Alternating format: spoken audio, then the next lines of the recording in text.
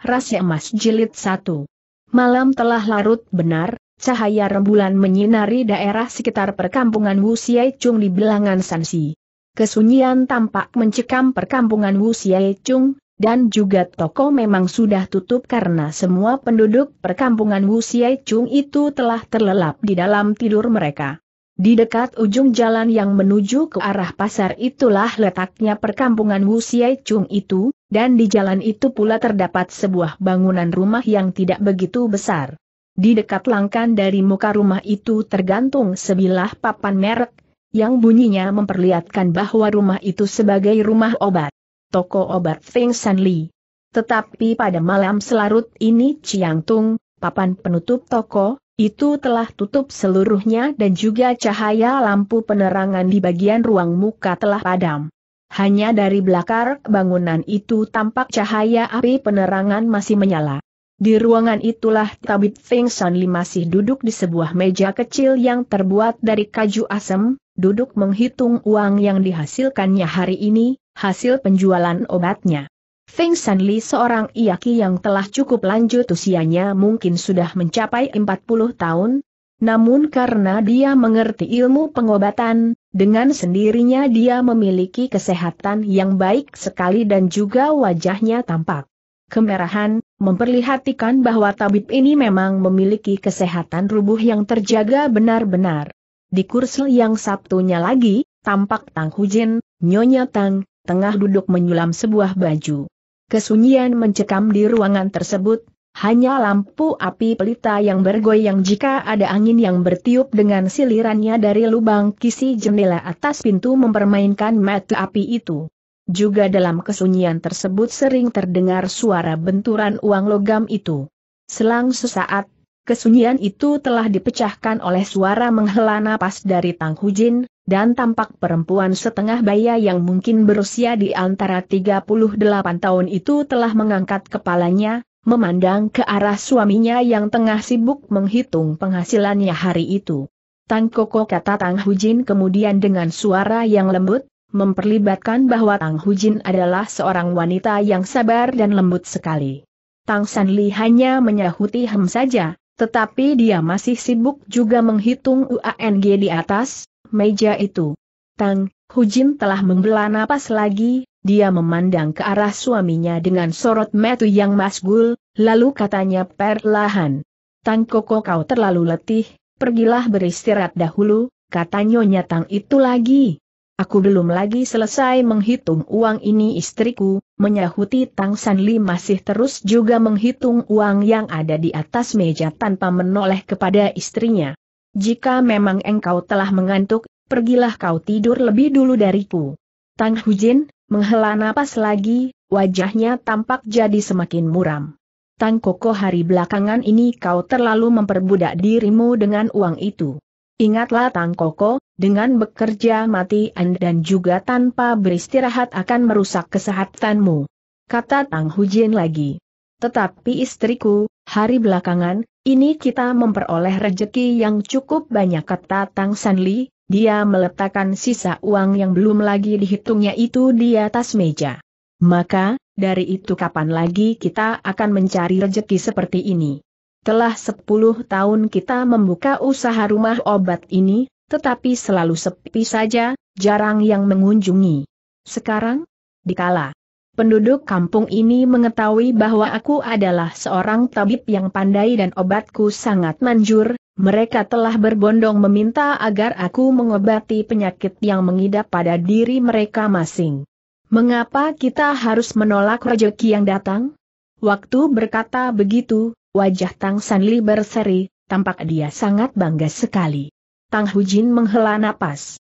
Benar Tang Koko, tetapi kau, harus ingat waktu bekerja sampai larut malam dengan membuka rumah obat sampai jam 12 tengah malam lalu sekarang masih sibuk menghitung uang yang kau peroleh itu, bukankah nanti penduduk kampung ini yang sehat walafiat dan sebaliknya tubuhmu yang rusak karena engkau tidak memikirkan kesehatanmu sendiri? Tang Sanli tersenyum mendengar perkataan istrinya. Moi-moiku, adikku, kata Tang Sanli dengan suara yang lembut, percayalah kepadaku, Walaupun aku, bekerja keras dan melayani si sakit sampai larut malam, namun aku juga bisa mengimbangi kekuatan tubuhku. Jika memang aku merasa letih dan sudah tidak kuat lagi, tentu aku akan pergi tidur untuk beristirahat. Tidak mungkin aku tidak mengenal kesehatan dan kemampuan tubuhku sendiri. Benar Bang Koko, tetapi akhir ini aku melihat kesehatanmu agak mundur sekali sekali-kali kau bercerminlah, lihatlah tubuhmu yang telah semakin kurus saja dan juga, hai, hai, akhir ini kau seperti kurang memperhatikan. Kiai Bo, anak kita itu. Kasihan anak kita itu, karena biar bagaimana Kiai Bo memang membutuhkan kasih sayang dan perhatianmu. Tanda petik. Dan setelah berkata begitu, berulang kali Tang Hujin menghela napas panjang. Wajahnya juga bertambah muram, dan matanya digenangi air mata. Melihat ini, Tang Sanli memperhatikan wajah istrinya yang tengah menunduk dan meneruskan sulamnya. Moi moi, kau jangan terlalu bersedih begitu. Bukankah di dalam kesempatan yang ada seperti ini kita memang harus dapat mengejar dan memanfaatkan segalanya? Karena jika dalam keadaan laris seperti sekarang ini, kita membatasi orang yang ingin berobat kepada kita nantinya kita juga yang rugi?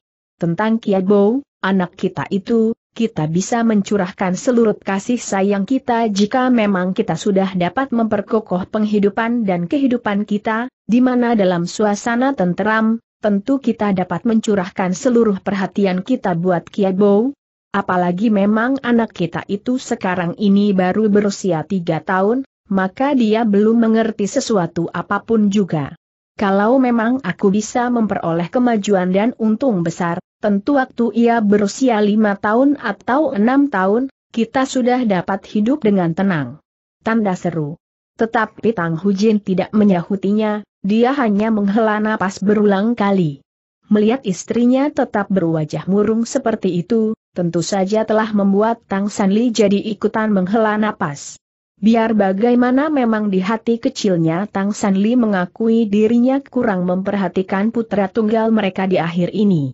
Dengan sendirinya, mau tidak mau memang di dalam hal ini telah membuat ia juga jadi merasa kasihan pada Kiai Perlahan Tang SLN Li telah berdiri dari duduknya, dia telah melangkah menghampiri ke sebuah kamar, dibukanya pintu kamar itu. Tampak seorang bocah cilik berusia di antara tiga tahun tengah tertidur nyenyak di sebuah pembaringan kecil. Wajah anak lelaki kecil itu bulat dan kemerahan memperlihatkan bahwa ia sangat sehat sekali. Melihat ini, Tang Sanli jadi tersenyum senang, karena biar bagaimana putra tunggal mereka itu memiliki kesehatan yang sangat baik sekali, di samping itu tubuhnya sangat montok sekali. Bocah kecil, Kiai Bo, juga tertidur dengan bibir yang tersungging senyuman. Lihat Moi Moi, betapa nyanyaknya anak kita itu tertidur, Jelas ia tengah bermimpi indah sekali kata Tang Sanli dengan suara yang perlahan dan lembut. Dengan bibir tersungging senyuman berduka Nyonya Tang itu juga telah bangkit dari duduknya dia meletakkan sulamannya di atas meja dan dia melangkah untuk menghampiri suaminya. Dilihatnya ke arah putra tunggal mereka yang tengah tertidur nyenyak. Sudah sejak belasan tahun yang lalu kita menikah dan menginginkan anak, namun tidak pernah memperolehnya dan sekarang, tiga tahun yang lalu, Tian, Tuhan, telah memberkahi kita dengan sebuah jimat untuk keturunan kita. Namun di saat seperti ini, ternyata Kiai dalam usia yang demikian kecil tidak memperoleh kasih sayang darimu, Tang Koko, betapa kurangnya perhatianmu padanya tanda seru. Tang Sanli hanya menghela napas. Orang Sitang ini mengerti, jika dia menjawabnya, tentu akan memperpanjang persoalan tersebut dan kemungkinan pula akan menimbulkan suatu cekcok dengan istrinya tersebut.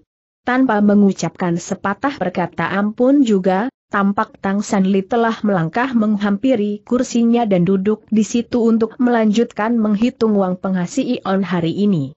Sedangkan Tang Hujin juga telah kembali duduk di kursinya untuk menyulam kembali. Keheningan telah meliputi mereka berdua. Tetapi di saat malam semakin larut, tiba terdengar suara ketukan pintu. Siapa tegur Tang Sanli dengan perasaan tidak senang, karena ia menganggap orang yang mengetuk pintu itu terlalu mengganggu di larut malam seperti ini. Sinshe, tabib, tolonglah kami putri kami tengah sakit keras dan dalam keadaan pingsan terdengar suara orang menghibah di luar pintu itu. Tang Hujan jadi mengerutkan sepasang alisnya, karena ia merasa begitu terganggu. Hari sudah larut malam demikian, ia bermaksud agar suaminya menolak kedatangan orang itu. Namun Tang Sanli hanya berdiam diri saja, dia telah membereskan uang di atas meja kemudian melangkah ke arah pintu. Dibukanya pintu tersebut, dan seketika itu juga di luar dugaan, telah menerobos masuk belasan sosok tubuh dengan cepat dan juga telah berkelebat sesosok bayangan yang mendorong tubuh dari Tang Sanli, sehingga tubuh orang sitang itu telah terjungkel bergulingan di atas lantai. Tang Hujin kaget bukan main, dan seperti orang kesima. Dan ketika ia tersadar, ia mengeluarkan suara jeritan. Tang Hujin seorang wanita yang lemah lembut dan juga merupakan seorang wanita yang halus, sekali, melihat suaminya telah diperlakukan demikian, tentu saja dia jadi mengeluarkan suara jeritan yang begitu menyajatkan dan cepat ingin memburu ke arah suaminya. Tapi salah seorang di antara belasan orang yang menerobos masuk ke dalam rumah Tang Hujin ini, telah melompat seorang laki yang berwok dan wajahnya menyeramkan sekali, dan mata golok telah ditempelkan pada batang leher dari Tang Hujin. Berdiamlah baik di tempatmu kata orang itu dengan suara yang mengancam. Tang Hujan tidak berdaya, hanya air matanya yang telah mengucur turun. Ia tidak mengetahui apa yang diinginkan orang-orang yang telah menyerbu masuk ini. Tang Sanlit telah merangkak berdiri dengan wajah yang berubah pucat. Apa, apa maksud kalian datang dengan cara demikian tegur Tang Sanli dengan perasaan takut bercampur dengan perasaan amarah yang bukan main. Hem, cepat kumpulkan harta benda kalian dan serahkan pada kami secara baik jika memang kalian tidak mau mampus. Bentak salah seorang lelaki yang bertubuh gemuk dan tinggi besar. Ini, ini, dari mana kami memiliki harta tanya Tang Sanli terkejut dan bercampur perasaan takut, karena segera juga dia menyadarinya bahwa mereka telah kedatangan orang ini untuk merampok dirinya. Hem, jangan banyak bicara bentak laki gemuk itu. Seret golok di tangannya telah berkelebat dan seketika. Itu juga terdengar suara jeritan dari Tang Sanli, karena mukanya telah tergores oleh tebasan golok itu, sehingga sejalur luka melintang dari muka di bagian kiri ke kanan, melintangi hidungnya. Darah merah juga telah mengucur keluar dengan deras dan terlihatlah betapa orang itu tanpa mengenal rasa kasihan dan buas sekali, telah mendorong tubuh Tang Sanli untuk melangkah ke kamarnya. Tang Hujin yang melihat suaminya diperlakukan demikian rupa telah mengeluarkan suara jeritan yang nyaring, seketika lamanya dia telah melupakan ancaman golok pada lehernya. Dan seketika itu juga dia mengeluarkan suara jeritan, seketika itu pula golok yang mengancam lehernya telah bergerak, dan menabas batang leher dari Tang Hujin. Tentu saja, tubuh Tang Hojin telah ambruk di lantai dengan darah mengucur dari lehernya, lah masih sempat mengeluarkan suara jeritan pula, dan kemudian tidak bergerak lagi. Tang Sanli melihat nasib istrinya, tentu saja jadi kaget dan kalap. Dengan mengeluarkan suara bentakan yang keras, dia berusaha untuk menerjang ke arah istrinya untuk melihat keadaannya. Tetapi belum lagi ia sempat memburu ke arah tubuh istrinya, yang tengah menggeletak di atas lantai, maka sebatang golok telah berkelebat lagi dan tubuh Tang Sanli telah rubuh tergeletak di atas tanah dengan berlumuran darah, sebab tubuhnya telah terbabat golok itu. Seketika itu juga jiwanya telah melayang ke akhirat. Dengan buas, belasan orang itu telah menyerbu ke arah uang yang bertumpuk di atas meja dan juga membongkar lemari, seluruh obatan yang berharga mahal itu juga telah dimasukkan ke dalam karung yang memang mereka bawa. Dua orang di antara belasan orang itu telah mendorong pintu kamar dan melangkah masuk. Mereka melihat Kiabo, bocah cilik putra tunggal dari pasangan suami istri Shitang itu, salah seorang telah melangkah maju. Dia telah menggerakkan golok di tangannya. Wut! Tanda petik. Dimampusi saja bocah ini kata orang itu. dan golok itu telah menyambar datang akan menebas tubuh Kiai Bow yang tengah tertidur nyenyak itu, maksudnya orang itu ingin membelah tubuh Kiai Bow, untuk membinasakan bocah yang tidak berdosa tersebut.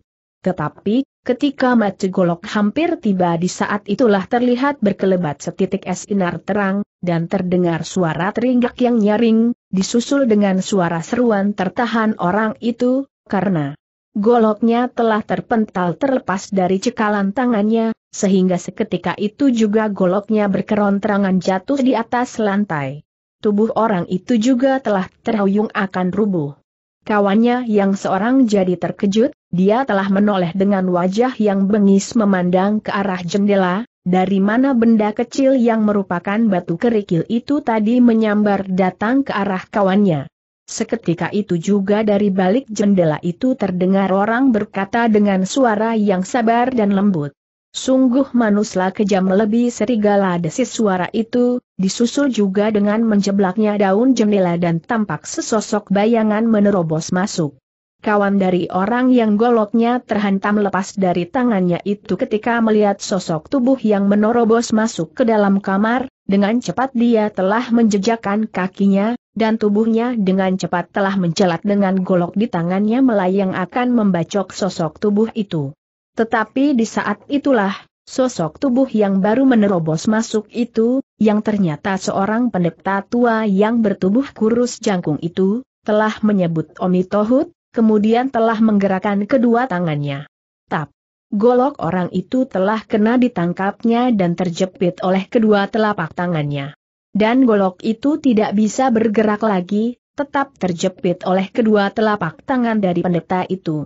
Tentu saja hal ini telah mengejutkan orang yang bersenjatakan golok tersebut. Dia sampai mengeluarkan seruan tertahan dan penuh kemarahan, kemudian telah menarik pulang, goloknya dengan mengerahkan seluruh tenaganya.